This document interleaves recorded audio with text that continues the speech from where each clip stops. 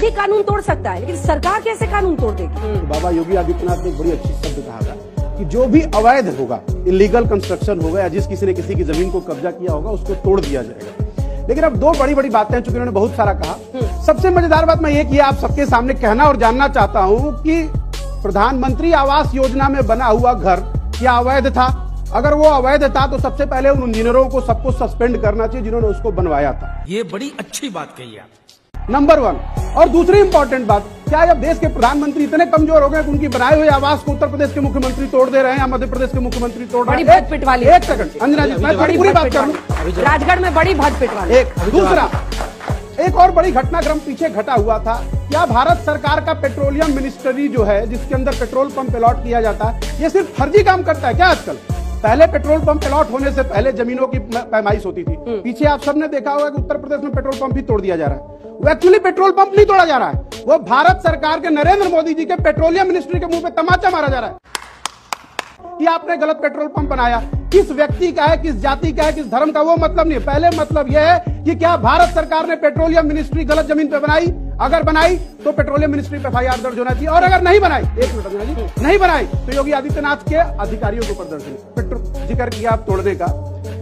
एक बात मैं नहीं समझ पा रहा हूँ अंजना जी कि अगर बुलडोजर इस सारी समस्या का समाधान है तो कोर्ट को बंद कर दिया जाए। एक।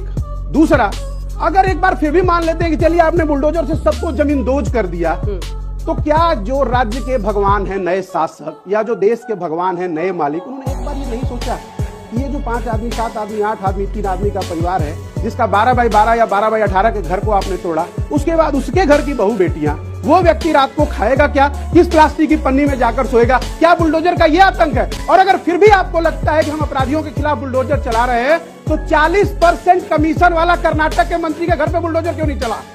या फिर देश के गौरव, देश के गौरव आई आईएनएस विक्रांत में चंदा खोर चंदा खाने वाला किरीट सुमैया के घर पे बुलडोजर क्यों नहीं चला? अरे बाप रे ये तो धोती खोल रहा है। इसका मतलब बुलडोजर चलाया नहीं जा रहा है। बुलडोजर से सबसे ज़्यादा समाज के चौथे पायदान पे बैठे हुए गरीब और कमज़ोर व्यक्ति चाहे वो किसी धर्म जाति का हो उसको टारगेट करने की कोशिश की जा रही है। ठीक है जल्दी से एक जवाब। संबित जी नकल करने के लिए भी अकल चाहिए होती है। शिवराज सिंह चौहान के अधिकारियों ने क्या कर दिया? पीएम आवास योजना राजगढ़ में। अंजना जी जब योगी जी बुलडोजर चला रहे थे इसी प्रकार से योगी जी क्या कर रहे हैं? चुनाव तो हार जाएँगे। अब चुनाव जीत गए तो ये बढ़िया है बाकी लोग नकल कर रहे हैं तो अकल चाहिए। राजस्थान में नहीं सवाल सुन लीजिए क्योंकि राजस्थान में करौली में जो घटना हुई वहाँ पर डीजे की अनुमति नहीं थी।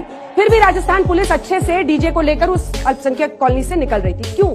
पहली बात हेमंत सोरेन क्या उन्होंने नरेंद्र मोदी के साथ मिलकर कराया? पहली बात अंजना जी कि मैं क्या पहनूँगा? ये मेरा अधिकार है। किसी बाप के अंदर दम नहीं को मुझे बताया कि मैं क्या पहनूं। पहली चीज़ क्लियर होनी चाहिए। एक बात दूसरी बात अगर बुलडोजर चलाने का इतना ही दम है तो दिल्ली में स्कूलों की फ़ीस महँगी हो रही है किताबें महँगी हो रही है दम है तो चला के दिखाइए।